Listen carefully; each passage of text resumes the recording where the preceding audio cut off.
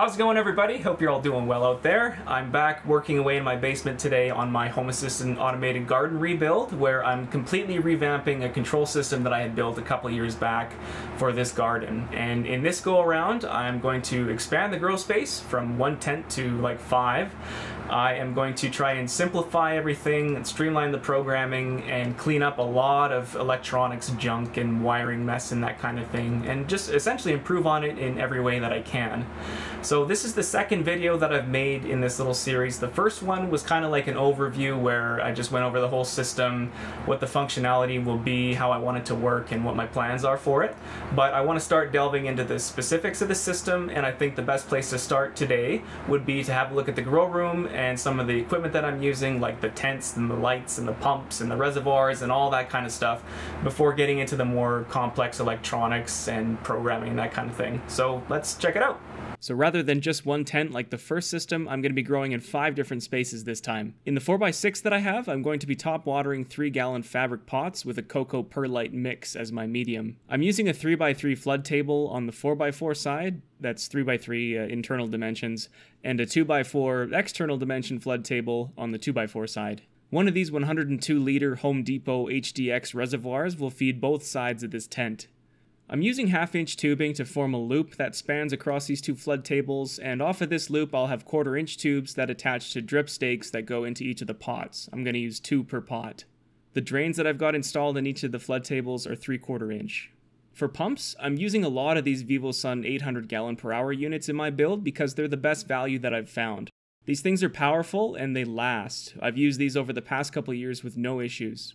In each res, I've got a pump that's going to push solution out to the plants, and then another one that's going to sit inside and just stir the solution in the reservoir periodically. Both of these pumps will be on controllable outlets on one of these Tuya Wi-Fi power strips, and this will save me a little bit of electricity since it'll let me run the stir pump at intervals rather than 24-7. My plan is to do 4 peppers on the 4x4 side and 2 tomatoes on the 2x4 side. The tent itself is an old HLG branded tent that served me well but has since been discontinued. For lights in here, I'm running one of the brand new ViparSpectra KS5000s in the 4x4. I actually just reviewed this light and it is a fantastic 4x4 light. It's got a massive footprint that spans pretty much the whole space and ample power and it puts up good PPFD numbers that are nice and even. And on the 2x4 side, I've got my favorite 2x4 light, the ChilLED Growcraft X3 330, which is just a beautiful piece of equipment. This 5x5 space I have is where I do my PPFD testing for various lights, but I'm going to try and make use of this space for growing as well, otherwise it'd be kind of a waste since I'm not always testing. But to keep things portable so I can move my plant in and out and, and test uh, whenever I need to, I'm probably just going to do a single plant in here. And for that reason, I'll start with a really small light like a ViparSpectra XS1500, something that's meant for like a 2x2. And then once the plant gets bigger, I'm going to run this absolutely ballin' horticulture lighting group Scorpion Diablo in here. I'm going to do flood and drain in a little tote in this space, and it's going to share a reservoir with the 2x4 tent that's beside it. In said 2x4, I'm using a Migro Aro 4 Pro for my light, and this thing's looking after all my plants and seedlings as they get big enough to move into their own 3 gallon fabric pots and go live in the other tents. I've already got some trellising set up for the cucumbers that are going to grow in here. I'm doing flood and drain in here as well, and I haven't really tried flood and drain before with coco and perlite, so we'll see how it goes. I guess flood and drain can cause a salt buildup in the coco over time since the pot doesn't really get completely flushed each feed, but I think this can be mitigated by manually flushing them out periodically, and if it doesn't work out, I'll just switch over to the top feeding style like the 4x6 tent. This tent is a VivoSun tent, which is the brand that I usually use for grow tents. I've got another VivoSun tent beside this one. This is a 3x3, and I'm growing a zucchini in here, as you can see.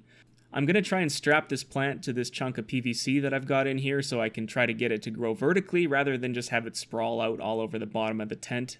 These plants produce some big leaves and I'm hoping I can keep it organized and give it enough room by going straight up with it. I've got the PVC pipe held in place by burying it in the pot and then strapping it a ways up with a ratcheting rope hanger attached to the two tent poles.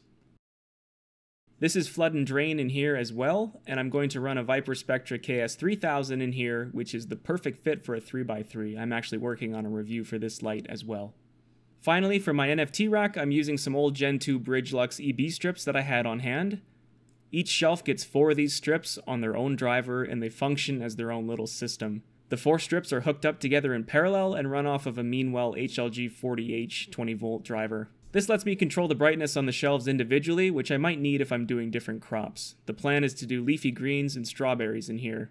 These PVC pipes are 4 inch. For now I just have a small pump to feed them with quarter inch line, but once I start getting the flow rate dialed in and tested, I may find that I need to go to a bigger pump if the output isn't cutting it. I'm using these Honeywell fans that everybody seems to love in each space to keep the air moving, and I've also got an AC Infinity Cloudline S6 or S4 for each tent to help me control the climate in each. I can easily get away with the S4 in the smaller tents since the fans aren't pulling through a carbon filter. If the house smells like cucumbers, I don't really think anybody's going to complain, but then again, I've never been overpowered by the smell of cucumbers, so we'll see. I'm running a single DIY humidifier for the whole space down here, and I'm going to try to keep everything happy with just this one unit. I considered running an individual humidifier in each space, but decided that would just be way too much work. The ultrasonic fogger I got for this humidifier is hilariously overpowered. I definitely went overkill on this one and would have done just fine getting one with half the discs or even less, but this one definitely works. I'll have to pulse this thing for like 5 seconds at a time. Well, that's probably a good place to wrap this one up. I want to keep these short and concise so it's easier to get them out quickly and catch up to where I'm at with the system. In the coming videos, I intend to go over how I set Home Assistant up on my Raspberry Pi 4 with an SSD. I want to look at getting the power bars set up in Home Assistant with the V2 Tuya integration, building the PCBs and bringing all their data into Home Assistant via my absolute favorite add-on ESPHome, wiring up the sensors, and then of course programming the thing. People have been asking for diagrams and part numbers and code, and yes, I will be getting these together and sharing them in the pertinent videos, so hang tight. If you have any questions or comments or ideas or whatever, I'd love to see them in the comment section, and I do try to respond to as many as I can. Okay, until next time, guys, take care and happy automating.